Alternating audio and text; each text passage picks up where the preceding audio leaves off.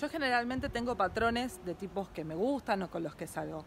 Tuve un momento, un momento muy largo con todos los que estaban relacionados con el arte, el fotógrafo, el cineasta, eh, el actor.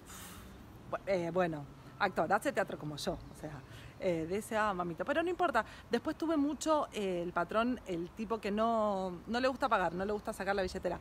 Yo no digo que tengas que pagar todo por hombre, no, vamos y vamos, compartimos la cuenta, no hay problema, pero cuando ni siquiera te hace una mague de, poner nada, nada, nada. Y ya descubrí cuál es mi patrón de ahora y es el que el que le gusta clavar el visto, al que, al que me ignora, al que sí, eh, el que no responde y que siento que a veces apuesta con sus amigos y dice, mira, si ahora le respondo, ella me va a responder.